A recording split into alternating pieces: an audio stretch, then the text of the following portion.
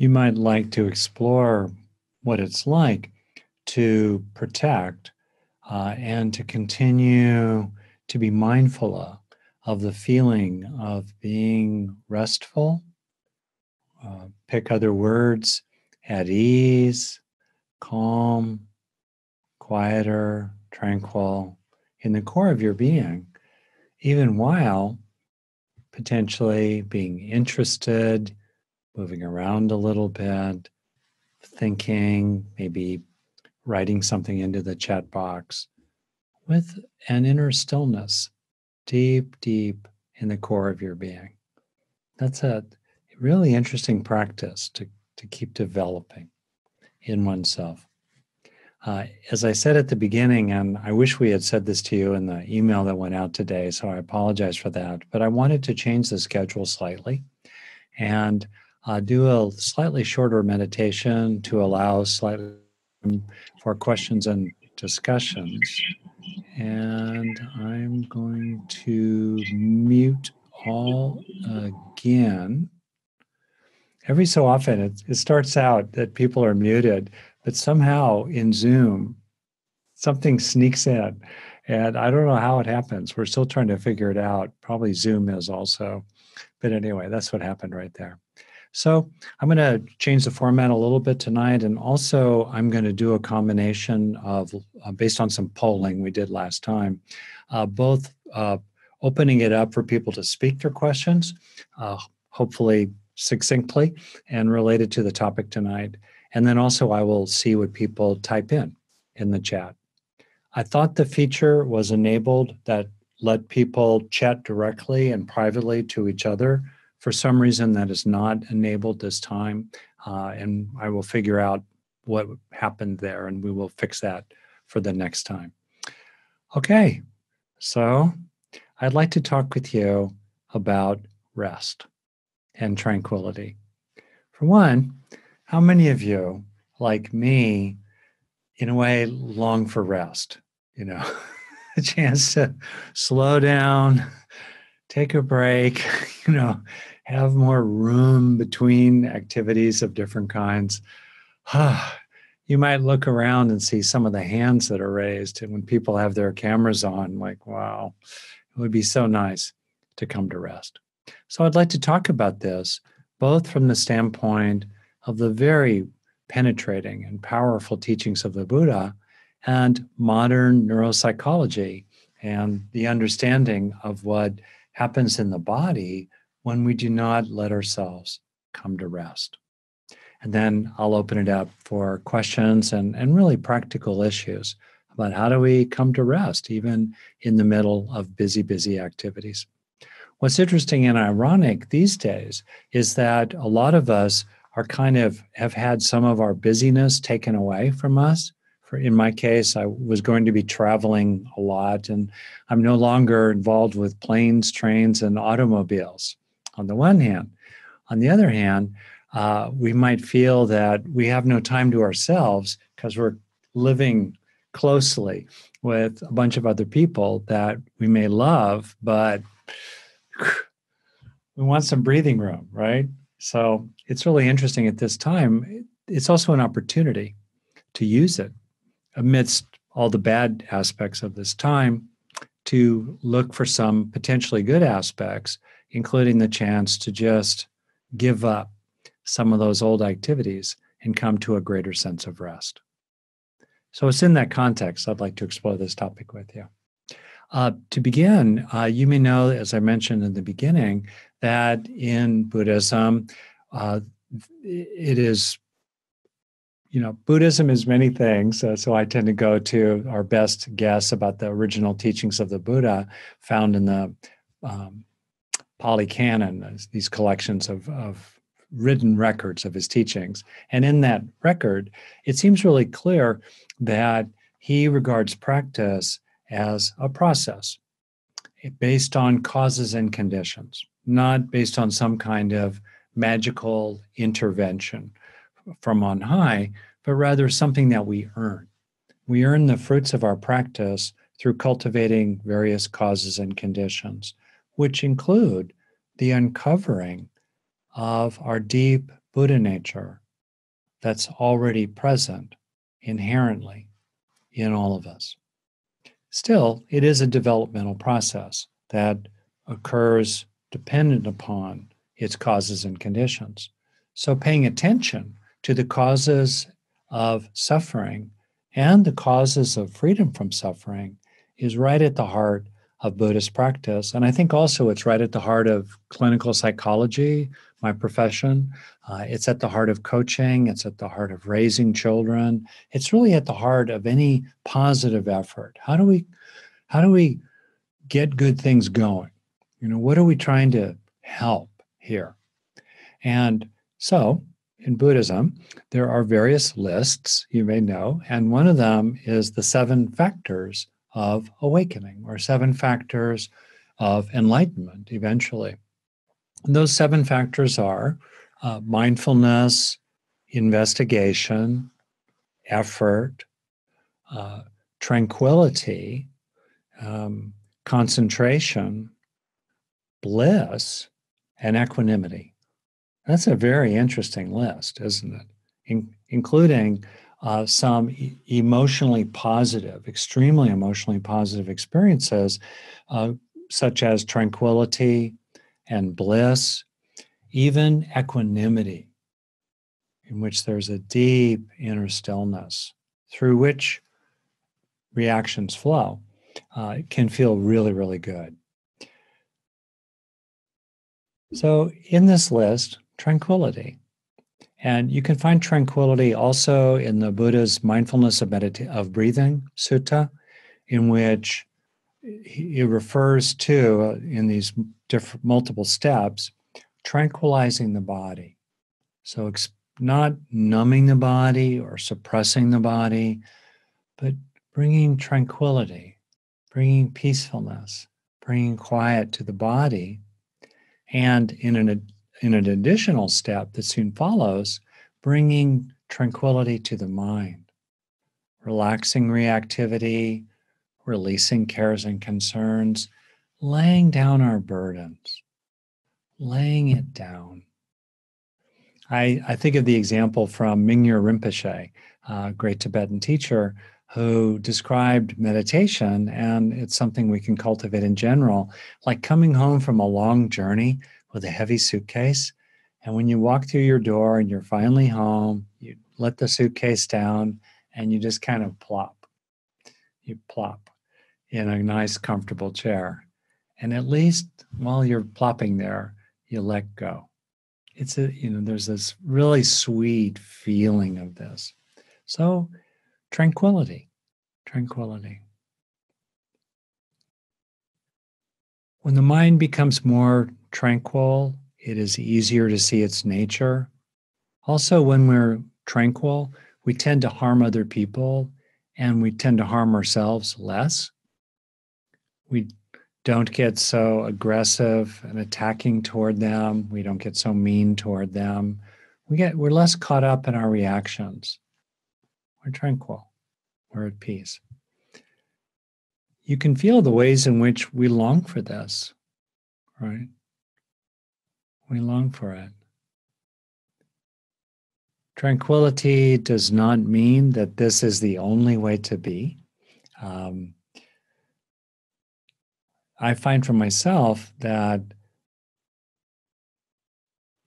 when I open to a feeling of tranquility and I deepen in that sense, what starts to come forward is more of a childlike quality inside that become that is playful and delighted and interested.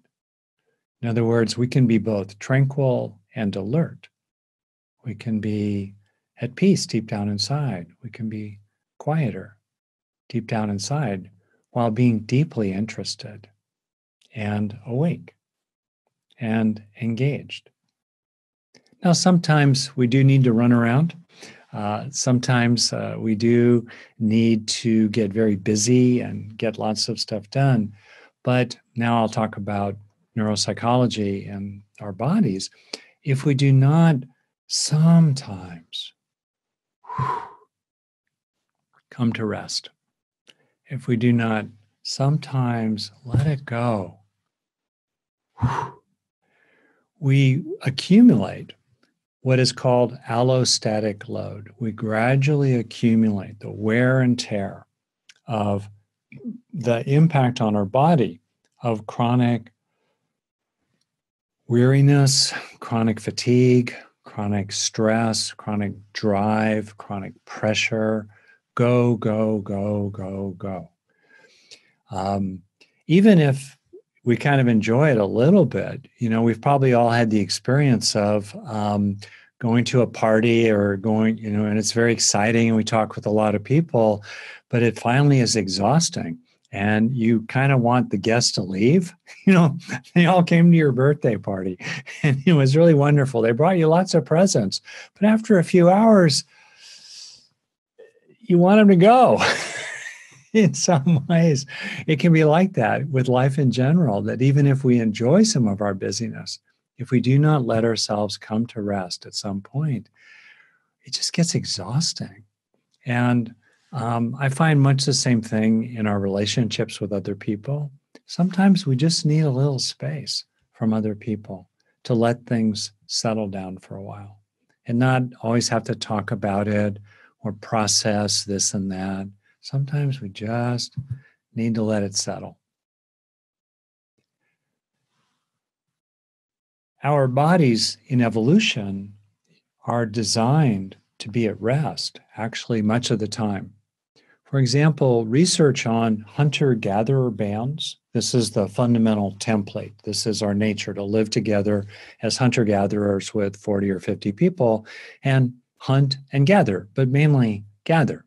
For example, generally studies on bands show that gathering brings in more calories for the band than hunting typically. And to the extent that it is very often women in these hunter gatherer bands who do the bulk of the gathering. I think it is really interesting that it is actually the women who are bringing in the food mainly, uh, often, uh, with some exceptions, I'm sure, but mainly it's the women who are going out and getting the food to keep the tribe alive, and the children included. I find that really kind of interesting. Still, there is some time for hunting, but other than that hunting and gathering. Uh, for the rest of the time, these bands typically are resting. They're sitting around, they're talking with their kids, they're gossiping, maybe they're grooming each other a little bit. I could probably use a little grooming these days, but um, they're at rest generally. And you know how many hours it takes a typical person in a hunter gatherer band to do their work? of the day, you know, the work of gathering, the work, the work of hunting, the work of mending some of their weapons, about four hours a day. Wow. Typical hunter gatherer band is at work only about four hours a day. The rest of the time, they're resting. They're conserving resources, they're conserving their calories, they're sleeping a lot, they're kind of napping, they're hanging out, um, they're staying out of trouble. you know, when they're resting in the cave or sitting under a tree in the shade or by the fire, they're not exposing themselves um, to predators and danger and aggression with other bands. They're, they're not at risk. It's a very sensible evolutionary strategy. So it's kind of remarkable. Um, I think the last time in my life that I was working one way or another only four hours a day on average, you know, let's say five or six days a week, was maybe when I was 10 years old. Starting in school and then summer school and then college and then adulthood and then career and all the rest of that. Wow. If you're like me, it's been a long, long, long, long time since I was able to live in a way that was consistent with and natural to the evolutionary template. These days, people think that being busy, busy, busy is a badge of honor. If you're not busy, if you're not working 12 hours a day, you must not be a top performer. You must be a slacker. You must be lazy, right? That's kind of how we think about it a lot today. But in fact, that work pace and workload is completely unnatural and a violation of the biological template. And we see the costs of it. Yes, that's offset by modern medicine and offset by generally much better nutrition um, than a typical hunter gatherer in the Stone Age would could expect year after year. Okay, the two together, but still, um, you know, the amount of time we spend being busy and never really just turning off the clock and stopping really adds a lot of wear and tear on us. So, I want to offer a few practical suggestions and then open it up for some discussion here. Um, the first practical suggestion is to experience at least a minute or more a day coming completely to rest. Maybe 10 breaths, about, where oh, you just let go, let down, come to rest. To do that, it can help to give yourself permission and also to remind yourself that you're safe where you are and to tell yourself that it's okay. You don't need to do anything else right now. If I have one major addiction, it is to doing. I love getting stuff done to a fault, and it can become a very intense habit. You know, when you wake up uh, in the middle of the night for some reason, maybe use the bathroom, and you kind of listen to the soft murmuring of the soundtrack inside your own mind. And it's if it's starting, if it just keeps running through different things to do, different tasks, different possibilities, it's like even when you're sleeping, your mind has not become completely quiet. So a minute or more a day of coming completely to rest. Maybe you make that part of your meditation uh, make maybe you make that part of a routine, like perhaps you, um, as I'm doing these days, meditating with my wife before she goes to sleep, or you know, brushing your daughter's hair or petting the cat. You know, maybe your hand is moving while you pet the cat, but otherwise, completely quiet, completely tranquil. Second big suggestion is to um, let go of repetitive planning or focusing on goals of different kinds. You know, we can often get caught up in loops of, you know, of scanning. We're, we're scanning for problems, we're scanning for goals, we're scanning for opportunities. It's the scanning. Um, and that can become very habitual looking for a problem to solve, looking for a threat to deal with, looking for a pleasure to pursue, looking for something new to want, right?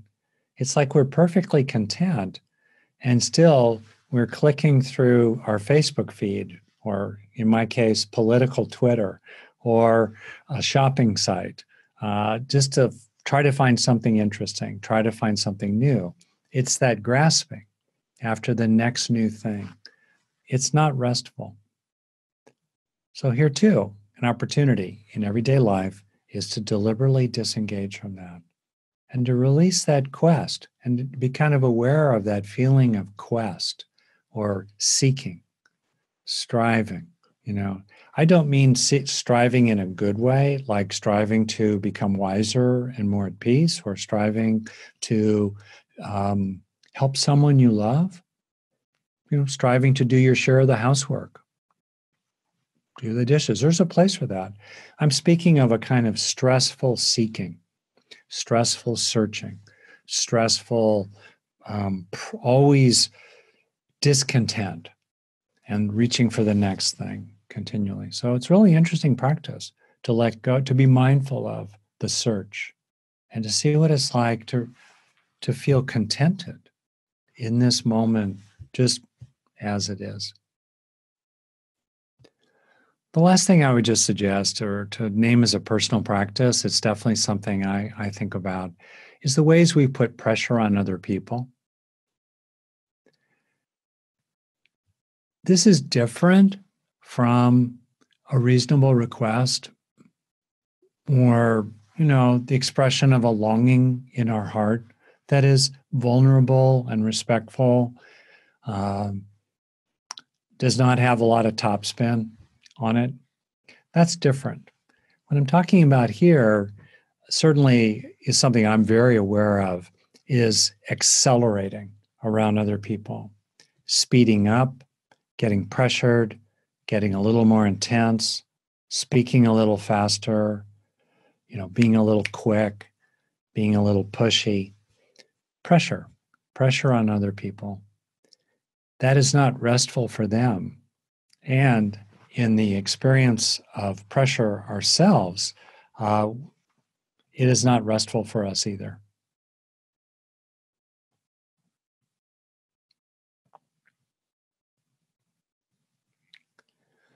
The last suggestion I have is a little subtle and it is a lot profound.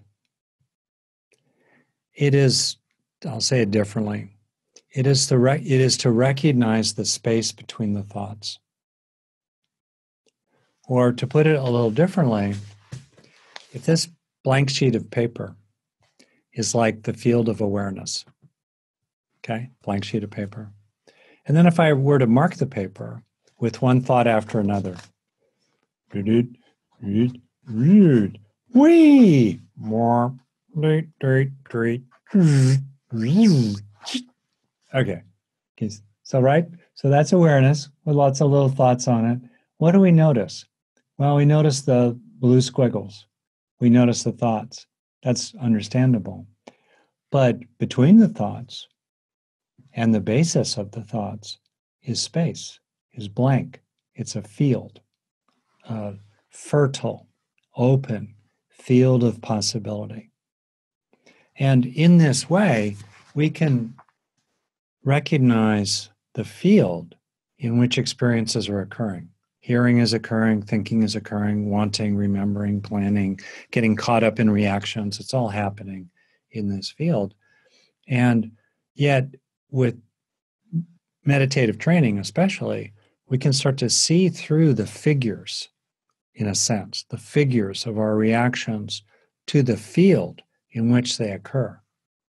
And the field is essentially unchanging, it is stable. The field is tranquil, the field is still.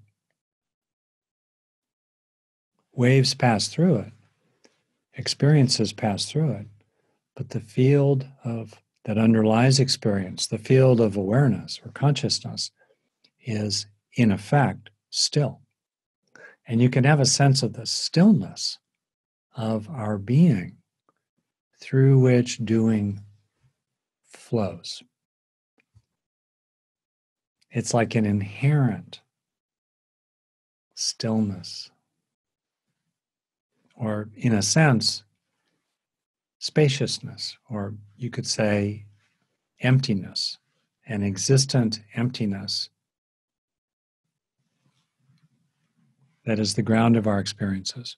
And as we have a sense of that underlying stillness or space in which experiences are occurring, the space between the thoughts, the grout between the tiles of the mosaic of our stream of consciousness, um, that is a very deep and always available way to tune in to tranquility in, in our own nature.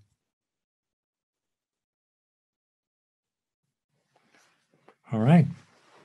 So uh, I see questions coming in on the chat, and I'm going to open this up for people to, I think, raise their hands. Um, let me see how this works. I see you, Carol, have your hand raised.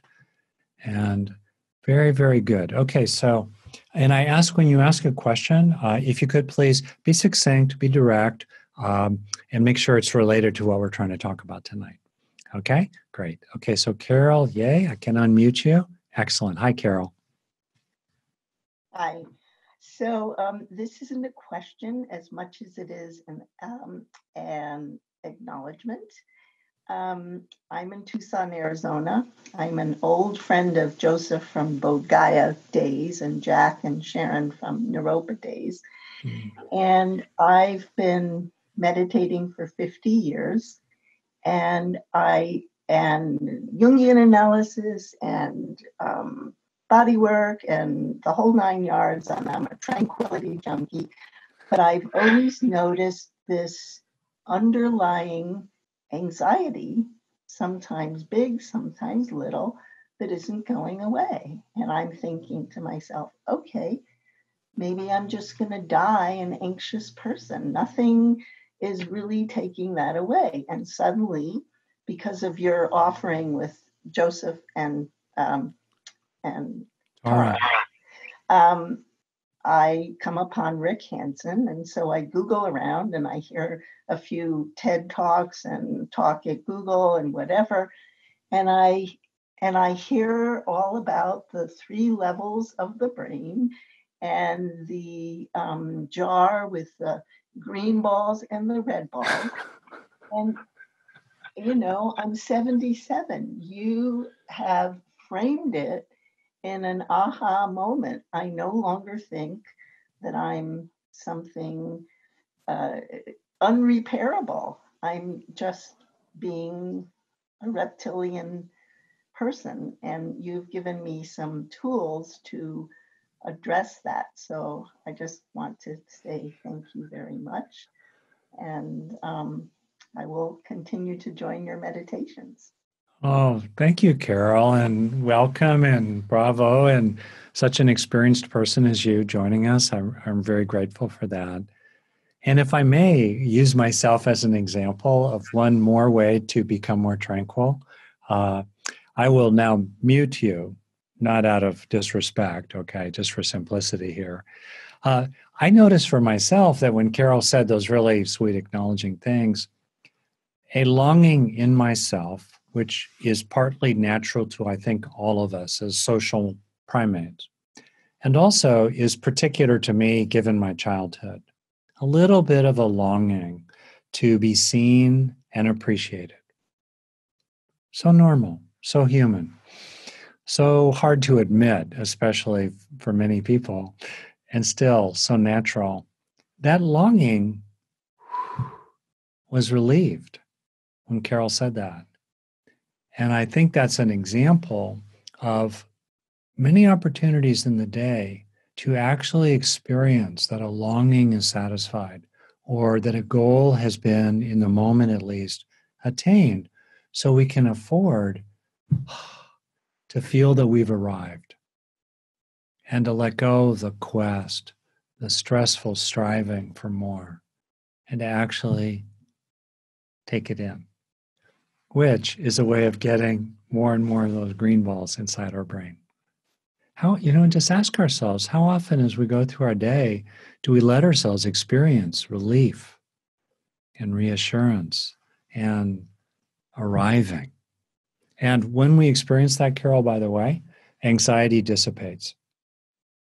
As we truly experience arriving, including arriving in each moment, and arriving with another person who really is listening, or really appreciating, you know,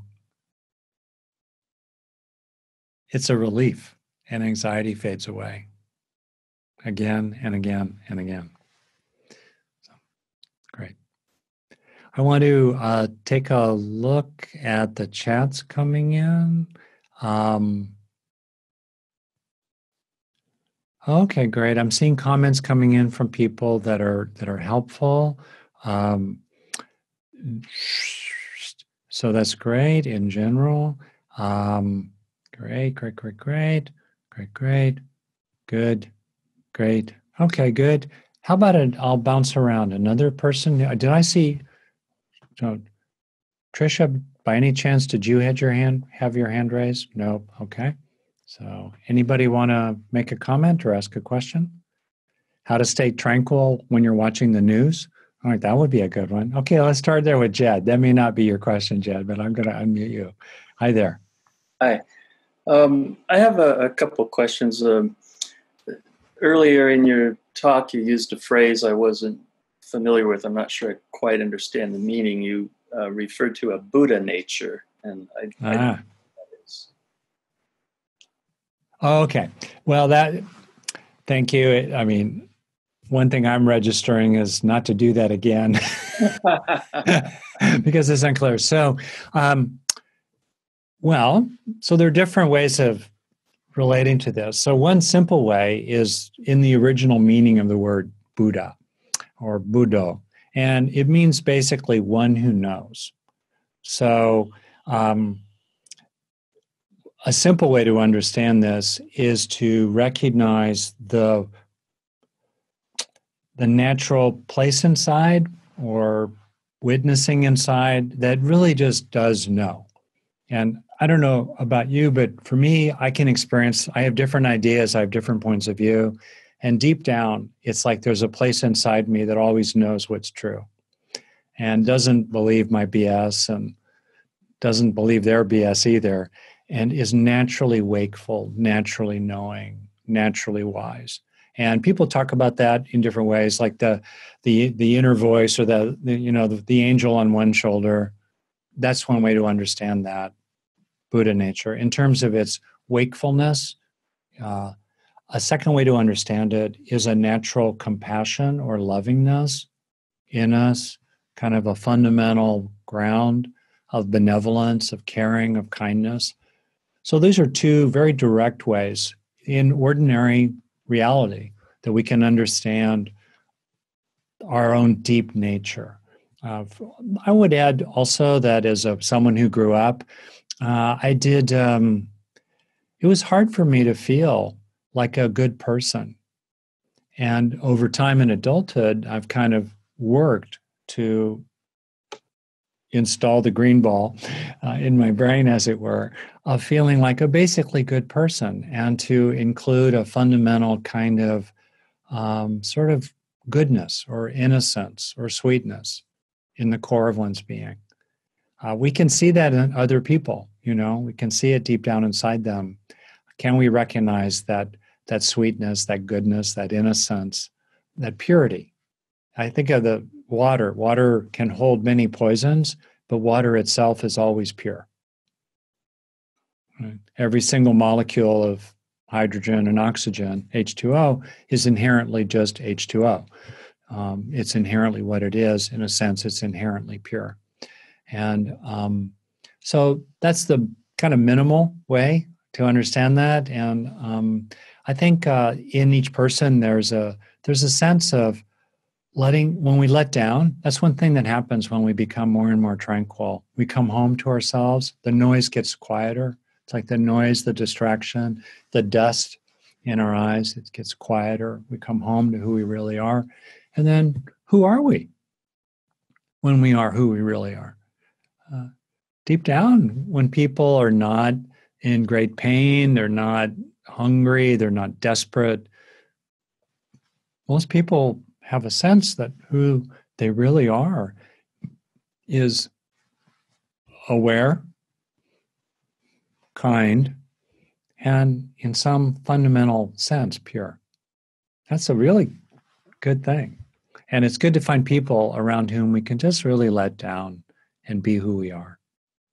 And then ultimately, to finish, a, a further way, possibly, if you like, to understand Buddha nature. Uh, the term Buddha nature really came in after the Buddha died.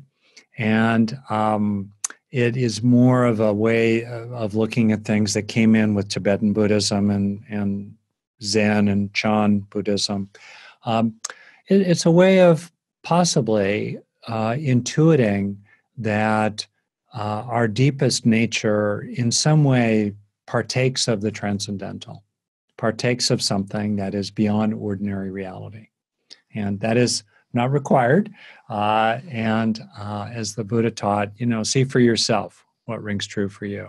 Uh, but for some people, that sense of Buddha nature in a mysterious and profound way points to something um, that seems infinite, transpersonal, uh, yeah. Uh, what do you make of all that, Jed? What do you was that clear? What do you think? Uh, a lot there to unpack. Um, but thank you for that definition. Um, I think that getting to that core nature, I guess, is sort of the goal of, of uh, yeah mindfulness practices. Yeah, good way to put it. And interestingly, also to see it in others. I mean, it yeah. can really be a practice to recognize whatever you think of as that. You know, don't you know essence, spirit, Buddha nature in other people, you know, deep down. Uh, so that that's a practice too. Okay, good. Well, thank you, Jed. Thank you very much. Great. And and as always, if I ever say anything that doesn't make sense or you don't know what in the world I'm talking about, good. Raise your hand. Okay, good. Thank you. All right, great. Uh, let's see. Gail, I'm going to unmute you. Hi. So I have an idea that helps me with tranquility, and I'm curious what you think of it. And it has to do with softening focus. Hmm. So an example would be I'd look out in my backyard and I think, oh, how pretty this little section of my yard looks. And I can just look at it and it seems very peaceful. Yeah. But the minute I get closer, I see, oh, there's a weed here, what is this doing here? And I get all upset about it. And I'm not tranquil anymore. So I guess to me, there's something about softening your focus or seeing things in a bigger way that makes makes me feel more tranquil than really focusing down in on it. Well, um, thank you for sharing that. And um, I'd like to make a comment about that that has some cool neurology in it, and also uh, uh, respond to a question that has come in from uh, Nine Sean and Bruce Malloy about the news these days, which seems really relevant. So I'll speak to that too. So, Gail, if it's okay, I'll, I'll meet you again. And um, so, uh, it is true on the one hand that as we focus attention in a concentrated way on just one stimulus narrowly, like the feeling of breathing or the feeling of breathing at the upper lip, or to really zero in on a single grain of sand or blade of grass, the mind tends to become more tranquil it tends to become more concentrated. And that's a meditative technique. So, on the one hand, as we, as um, a teacher of mine once put it, as we become devoted to the object of attention and renounce everything else, we can become more concentrated. And there's a stillness that occurs in which, uh, which supports penetrating, liberating insight on the one hand. I agree with you, though, on the other hand, when we start to scan this and this, this and that, uh, we see things to fix. We see what's wrong. I mean, it, the way you talk sounds like what happens in my mind when I look out in my backyard. I go, oh, light, nice, nice, like it, like it. Huh. Got to fix that. What's wrong? Why is that plant brown? is, the watering broken? You know what I mean? Da, da, da, da, da, da. So that's understandable. And that's why neurology time now, it's really helpful to widen out into the sense of things as a whole. And one of the things that really was a for me really interesting and new when I was kind of working on my book here uh, was the ways in which when we get a sense of things as a whole, that quiets activity in the midline cortex of the brain, both the frontal regions that are very task oriented and the rear regions that are mind wandering default mode network. And that activity gets quieter when we have a sense of things as a whole. And we tend to engage networks on the sides of the brain, especially the right hemisphere for right right-handed people, because the right hemisphere is involved with the sense of things as a whole. And as we engage the right hemisphere, it's connected in a seesaw, like a seesaw, with the left hemisphere, which is doing sequential uh, problem solving, which is the basis for verbal activity. So when we go into things as a whole, we decrease stressful activity in the midline, which is also involved in mental time travel, future and past. We really come into the present moment, which interrupts and disrupts a lot of worry and a lot of rumination and a lot of regretting. And um, quiets verbal activity, which is also very involved in a lot of stressing. Isn't it interesting? The simple act of getting a sense of your body as a whole, or the room as a whole, or the whole situation, maybe the totality of the current moment with the coronavirus and the world and human history and biology, just all of it. In a funny way, when you go out into it as a whole and you disengage from this part and that part, you go out into it as a whole, you become more tranquil. You feel less stressed by it and less beleaguered by it, less attacked by it. You know, that's really powerful. So I, that's something I've been really practicing a lot of how to actually get a sense of things as a whole, which includes disengaging from one's own righteous point of view. That's a good practice. Disengaging from our own perspective. Don't know. Wow. Who knew? That's good. Uh, I'm not saying this is the only way to live. Sometimes we have to be analytic. Sometimes we have to act on parts. You know, okay, there's a place for that. But I don't know. I think most people would say they're doing much too much of that these days. They feel burdened by it. It becomes a habit. It's tiring. Uh, there's a reason why it's tiring. We're not meant to do that all day long, right? so now about the news, I wanted to just comment that I, you know, uh, what's been helpful for me lately about the news and politics and the current moment and all that is to sort things into three piles. First, there is the pile of being informed, being interested, uh, having uh, a, a moral opinion about what's good and what's bad and what should happen and what should not happen, you know, all that. Okay, that's one pile. Then there's another pile, which is simply compassion and it's interesting how the first pile tends to crowd out compassion. Even though in the first pile, including outrage, feeling appalled, feeling infuriated about how so many people are being hurt, let's say, even though that part of that first pile can feel virtuous and feel like it's good for everyone, still that kind of preoccupation and outrage and disgust and fury, all of which I can relate to, gets in the way of compassion.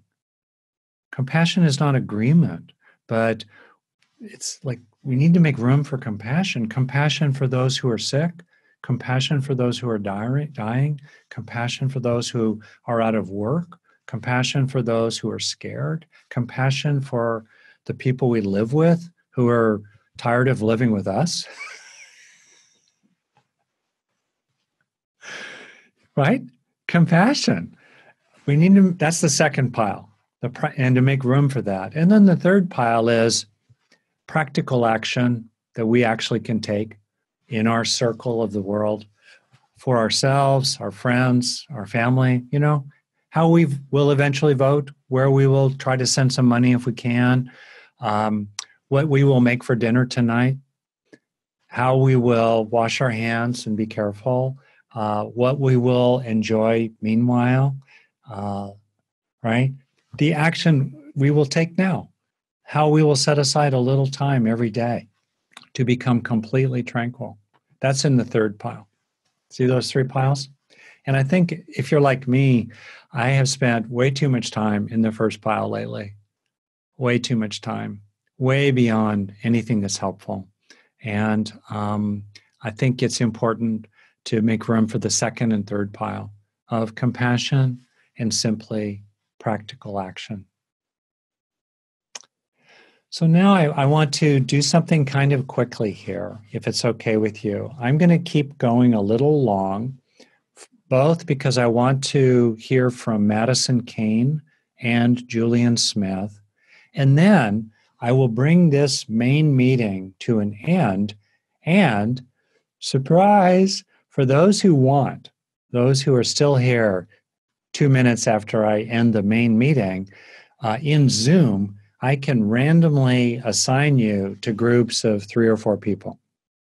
And so if you want, you will be just put in a group with three or four people and you can talk to each other to support the third jewel of Buddhist practice, Sangha.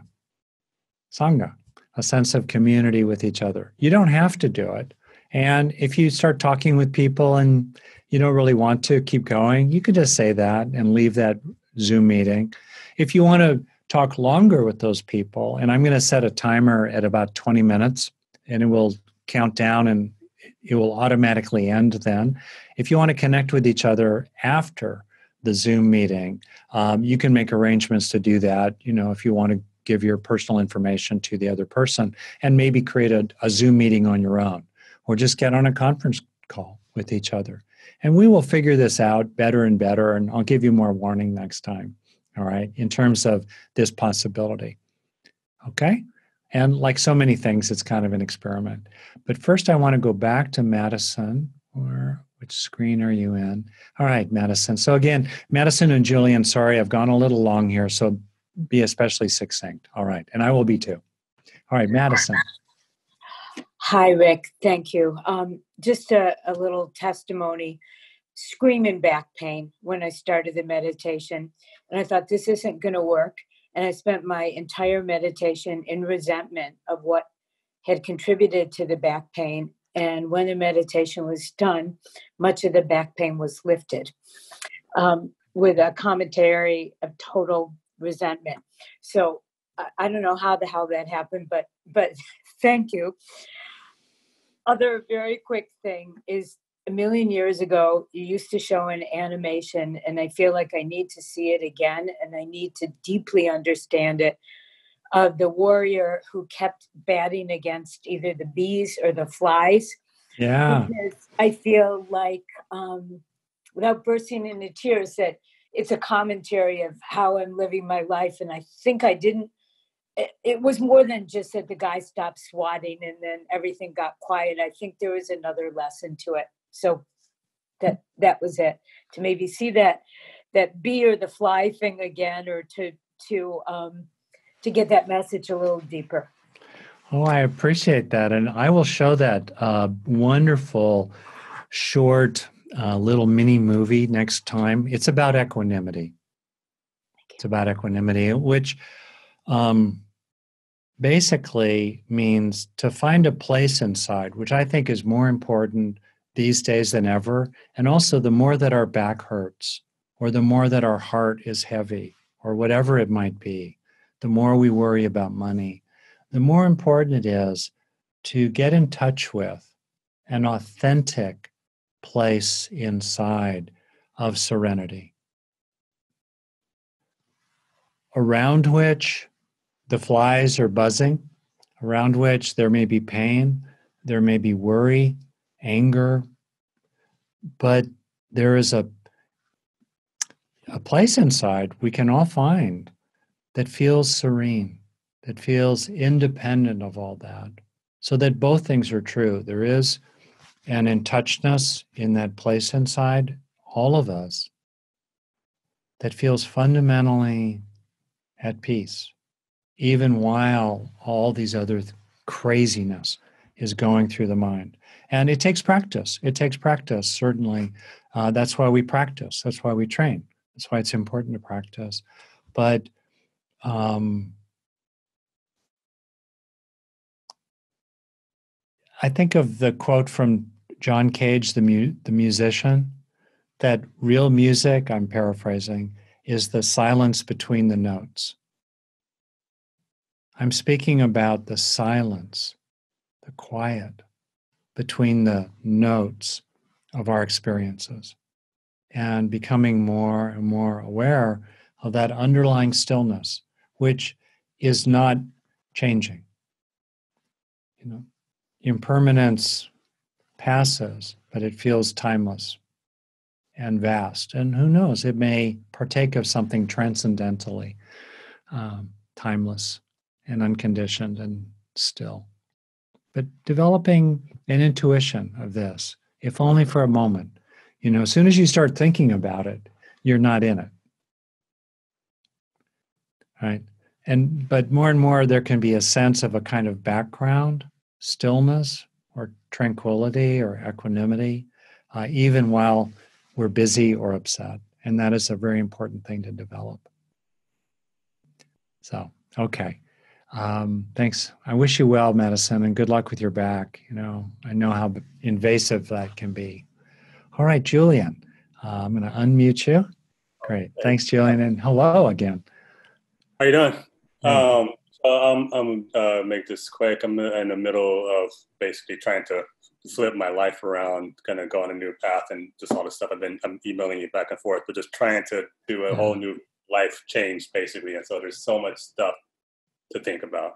Yeah. There's a whole whirling around in my head and on paper, and I'm just thinking about it all the time. So I, I'm spiraling, like you were saying, talking about before. You know, try not to spiral, and, and I'm doing that, and I know that it's not. I shouldn't be spiraling. It's happening anyways, right? So, you know, take take up some time to yourself. Take a breath, do some breath work, go out in nature, calm down for a little bit, etc. Right? But I know I need to do that. I I actually am scheduling time to meditate into my schedule because it's so hectic. So I know I need to drop some things. But problem is, um, you know, I meditate. I, I do whatever I need to do to chill out and calm down. And this thing, this all these lists of things I need to do become this source of anxiety again. So I can be calm now for a few minutes. I got to go back to this list of stuff that I have to do, and it becomes this whole source of anxiety. And the, the tendency when something's a source of anxiety is you want to avoid it, right? Which is probably good when that source of anxiety is the news or something like that, right? But maybe not so great when it's all the things I need to do for my future.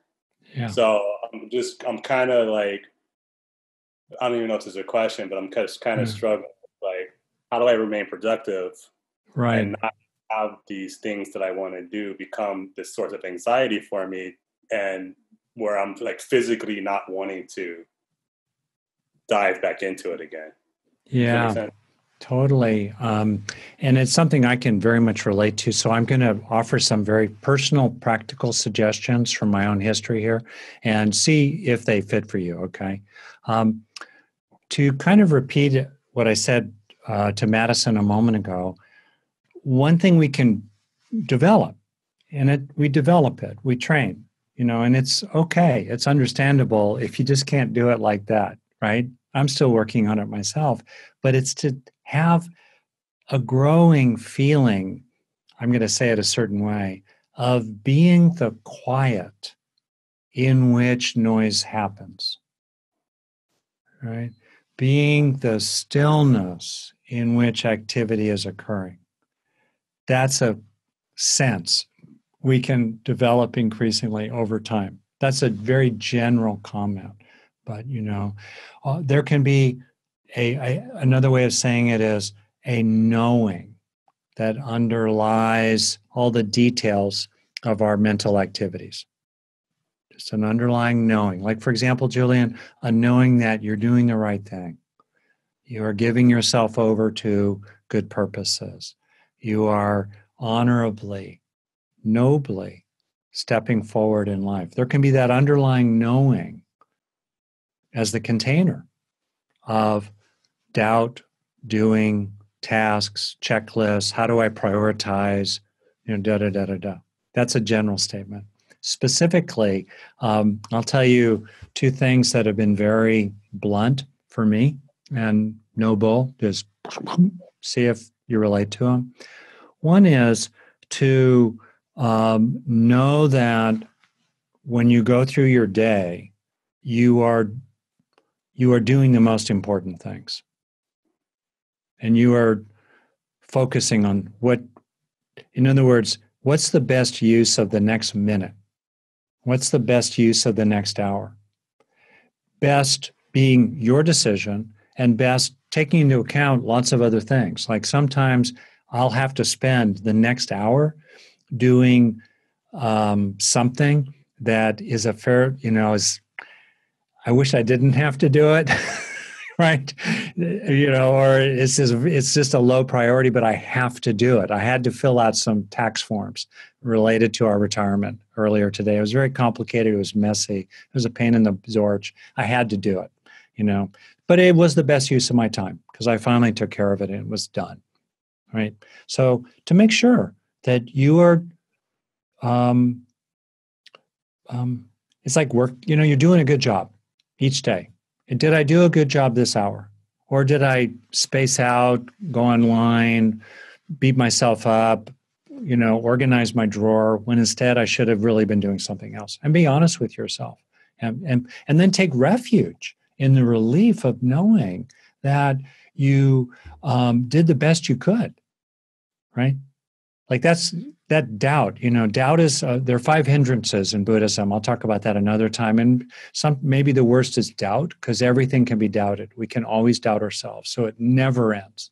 And that quality of self-doubt i'm kind of hearing in what you're saying. So just know to yourself that you did a good day's work today. And then right. do it again tomorrow.